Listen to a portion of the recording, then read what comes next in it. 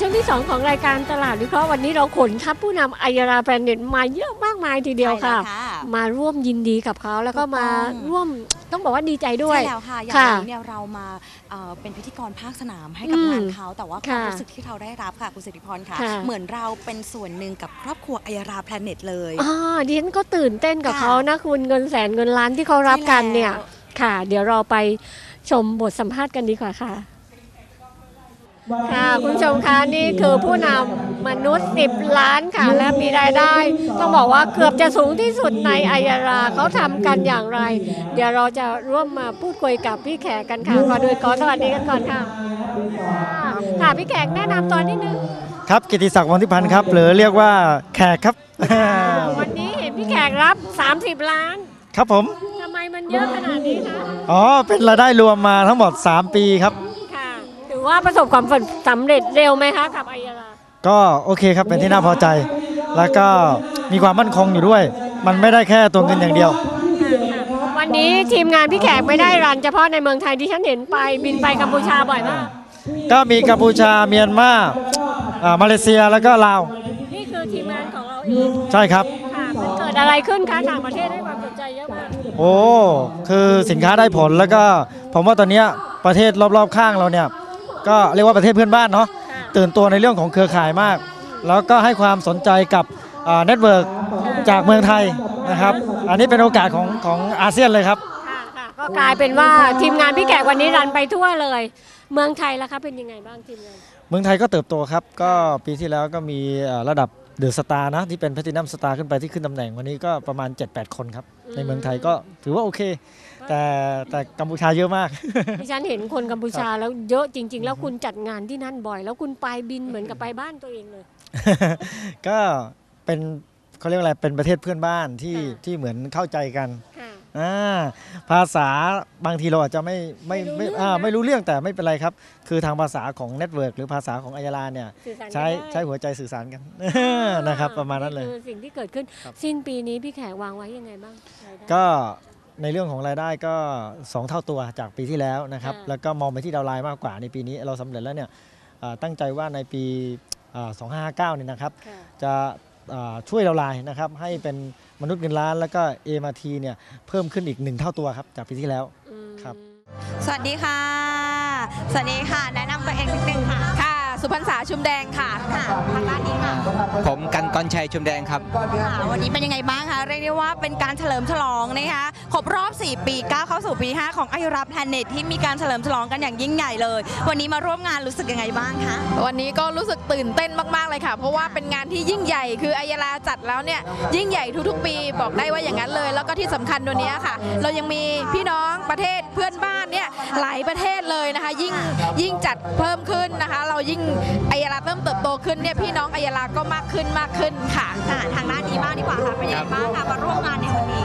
ก็ เห็นการเติบโตของบริษัทนะครับ แล้วก็เห็นการเติบโตของผู้นำนะครับ ซึ่งมีทีมงานหลั่งไหลเข้ามาเยอะมากนะครับ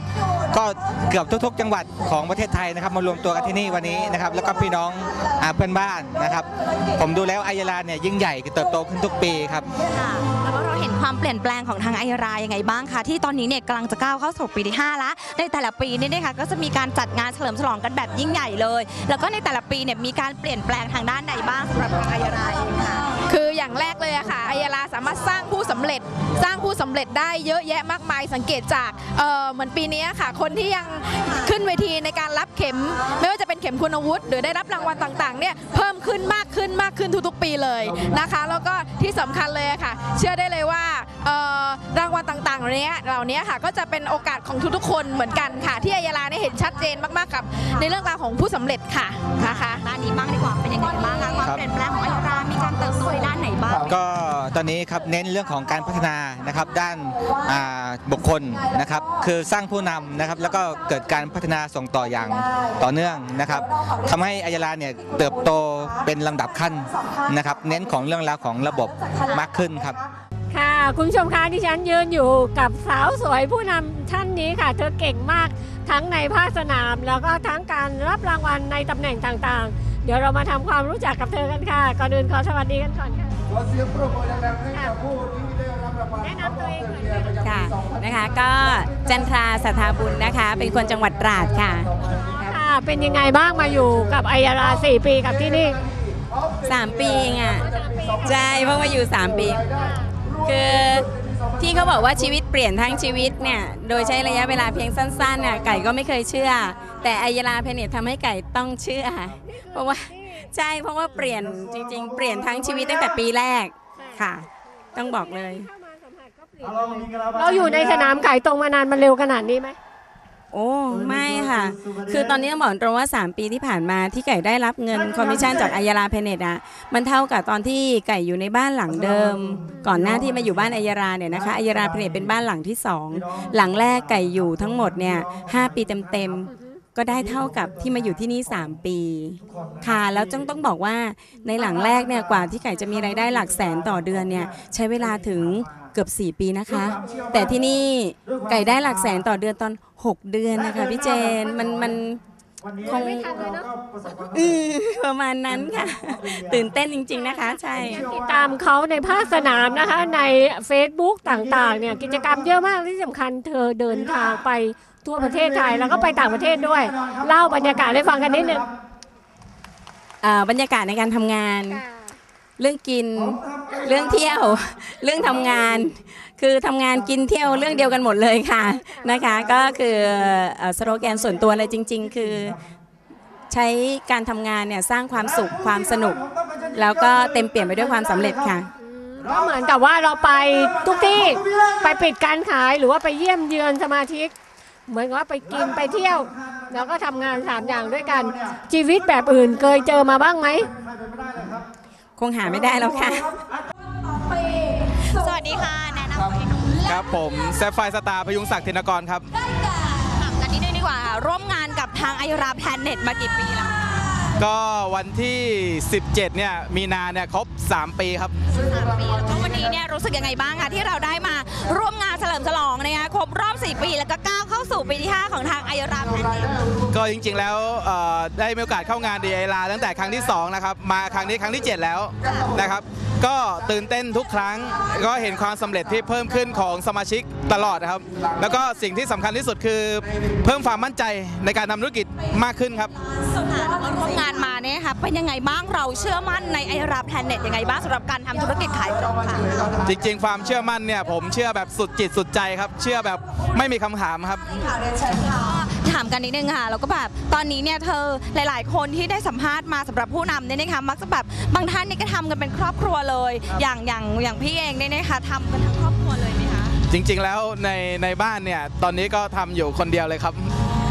แล้วก็คนอื่นเนี่ยก็เป็นผู้บริโภคที่ดีครับในธุรกิจนี้ ก็คือเราเป็นผู้นำแล้ว คนในบ้านก็เลยให้เป็นผู้บริโภคไว้นั่นเองค่ะ จริง ๆ แล้วณวันนี้ธุรกิจเครือข่ายเนี่ยอ่าเปลี่ยนไปเยอะเลยนะครับ ธุรกิจเครือข่ายเนี่ยไม่ใช่งานพาร์ทไทม์นะครับแต่มันเป็นอาชีพได้ ผมเองทำธุรกิจเครือข่ายเป็นอาชีพนะครับแล้วก็ธุรกิจเครือข่ายเนี่ยถ้าณวันนี้เลือกเครือข่ายที่สร้างแล้วเสร็จได้จริงๆนะครับ Aiyara Planet คือคำตอบสุดท้ายครับเราเรียก ได้ว่าเป็นอีกหนึ่งผู้นำเนี่ยนะคะที่ร่วมงานกับทาง Aiyara Planet มาเกือบจะ 3 ปีแล้ว แล้วก็ประสบความสำเร็จได้ขนาดนี้นะคะเพราะฉะนั้นคุณผู้ชมท่านไหนที่สนใจในการทำธุรกิจขายตรงเนี่ยนะคะ ก็เชิญมาร่วมงานกับทาง Aiyara Planet ของเราได้เลยค่ะ วันนี้ต้องขอขอบคุณมากๆนะคะ ขอบคุณค่ะ ค่ะ key man หรือว่านักบริหารคนสำคัญที่นำพา Aiyara Planet จนก้าวสู่ความสำเร็จในวันนี้ นั่นก็คือคุณชาญวิทย์เมธาชัยวุฒิค่ะ รองประธานกรรมการบริหารของบริษัทนะคะ เดี๋ยวเราจะมาพูดคุยในการสร้างระบบคนให้สำเร็จกับ Aiyara Planet กันค่ะ สวัสดีค่ะค่ะค่ะ สูตรสำเร็จของไอยราส่วนหนึ่งมาจากการจัดการคนจัดการระบบต่างๆ เป็นยังไงบ้างคะคือ อายารามองว่าทรัพยากรที่มีค่าที่สุดนะครับก็คือคนค่ะเพราะฉะนั้นเราจึงเราจึงให้ความสำคัญในการสร้างคนค่ะเขาบอกว่าความสุขความทุกข์ความสำเร็จความล้มเหลวเนี่ยค่ะความสมหวังความผิดหวังอะทุกอย่างล้วนแล้วแต่มาจากตัวเราเองทั้งสิ้น เขาบอกทำตัวเราให้ถูกต้องทุกอย่างจะถูกต้องค่ะทำตัวเราไม่ถูกต้องทุกอย่างจะไม่ถูกต้องค่ะนะครับแล้วเวลาเวลาเราเราคือต้นเหตุค่ะสิ่งที่เกิดขึ้นคือปลายเหตุเพราะฉะนั้น แก้ปัญหาที่ต้นเหตุ อย่าแก้ปัญหาที่ปลายเหตุค่ะการสร้างคนคือการสร้างเหตุให้ถูกต้อง ถ้าเราสร้างคนถูกต้องเนี่ยสิ่งที่ตามมาก็จะถูกต้องค่ะนะครับ แล้วแก่นแท้ในงานของเราเนี่ยมันไม่ใช่ธุรกิจค่ะแต่มันคือการสร้างคนสร้างคุณค่าแล้วก็สร้างสังคม เพราะฉะนั้นคุณสร้างคุณค่าและสร้างสังคมใช่เพราะนายลาจึงจึงให้ความสำคัญในการสร้างคนมากเลยค่ะนะครับ แล้วเราก็ มีการจัดตั้งเขาเรียกว่าสถาบันพัฒนาบุคลากรอ่าเรียกว่าอะคาเดมีนะครับเพื่อวางแนวทางในการพัฒนาบุคลากรเนี่ยให้ประสบความสำเร็จ โดยกำหนดทิศทางขั้นตอนการเรียนรู้ตามระดับอย่างเป็นระบบนะครับในหลักสูตรต่างๆนะฮะจุดแข็งของสถาบันนะครับอะคาเดมีคือนะครับสร้างคนให้มีความพร้อมอย่างมืออาชีพ ไม่ว่าจะเคยมีประสบการณ์ ในธุรกิจขายตรงมาก่อน หรือไม่ก็ตามนะครับอายาลามีวิสัยมีวิสัยทัศน์ตามที่ท่านประธานกำหนดว่าคือว่าวิสัยทัศน์ในการสร้างองค์กรสีขาว ในด้านการสร้างคนเนี่ยเราก็มีวิสัยทัศน์เหมือนกันคือ สร้างองค์กรแห่งการเรียนรู้เราเรียกว่า learning organization นะครับในการสร้างองค์กรแห่งการเรียนรู้เนี่ยนะครับภายใต้หลักการที่ว่าความรู้เนี่ยก่อให้เกิดความคิดที่ดีนะครับความคิดที่ดีเนี่ยก่อให้เกิดนะครับความเชื่อมั่น ความเชื่อมั่นเนี่ยก่อให้เกิดขวัญและกำลังใจ ขวัญและกำลังใจเนี่ยก่อให้เกิดการกระทำที่ดี และการกระทำที่ดีก่อให้เกิดความสำเร็จนะครับนี่คือหลักการของเรา ค่ะหลักการทั้งหมดที่สร้างมาวันนี้ถือว่าสำเร็จเกินปริมาณที่กำหนดไหมคะ หรือว่าเป็นยังไงบ้าง ต้องถือว่าอยู่ในขั้นพอใจนะครับ เพราะว่าเราสามารถสร้างเอ่อคนที่มีรายได้เป็นล้านเนี่ยได้ 40 กว่าคนนะแล้วก็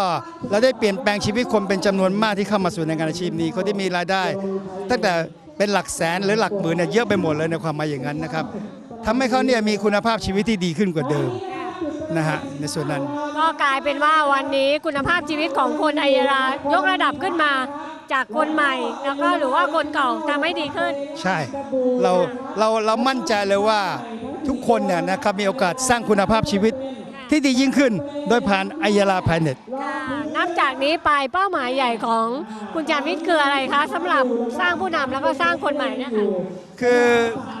คือเราคงจะต้องพัฒนาคนของเราไปเรื่อยๆนะครับสิ่งที่ไอยาลาจะทำต่อไปในข้างหน้าก็คือว่าสร้างวัฒนธรรมของการโคชชิ่งเกิดขึ้นนะครับโคชชิ่งคืออะไรโคชชิ่งคือคือกระบวนการเรียนรู้นะครับที่จะค้นหาคำตอบเนี่ยของตัวเองนะครับแล้วก็ เเพิ่มศักยภาพนะครับในการทำงานของตัวเองนะฮะโดยมีโค้ชเนี่ยนะครับเป็นผู้ช่วยในการทำงาน ซึ่งการเรียนรู้แบบนี้นะครับมันเป็นการเรียนรู้ที่ทำให้ทำงานได้ผลมากขึ้น แล้วก็มีความสุขกับการทำงาน ไม่ว่าจะทำงานกับอัพไลน์เอ่ยดาวไลน์ไซด์ไลน์เอ่ยในส่วนนั้น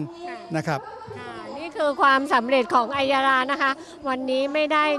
ไม่ได้ได้มาง่าย ๆ ค่ะ แต่ได้มาจากการสร้างระบบแล้วก็การจัดการคนที่ถูกวิธีนั่นเองค่ะค่ะ แม่คุณดิฉันยังตื่นเต้นไม่หาย ใช่แล้วค่ะผู้นำเยอะมาก เยอะมากๆแล้วก็ค่ะ รวมไปถึงนะคะเรียกได้ว่าเป็นการให้เห็นถึงประสิทธิภาพแล้วก็รวมไปถึงคุณภาพของไอราแพนเน็ตที่ค่ะ ทำให้ผู้นำหลายๆท่านเนี่ยอ่า ประสบความสำเร็จแบบนี้ด้วย ค่ะ บางคนก็ดีใจบางคนก็ตื่นเต้น บางคนก็อยากกรี๊ดบางคนก็ซึ้งน้ำตาไหล ก็หลายคนก็มีอารมณ์แตกต่างกันไปใช่ก็ต้องบอกว่านี่คือความสำเร็จของอายราแบรนเน็ตที่ เป็นรูปธรรม แล้วก็สัมผัสได้ในวันนี้ค่ะ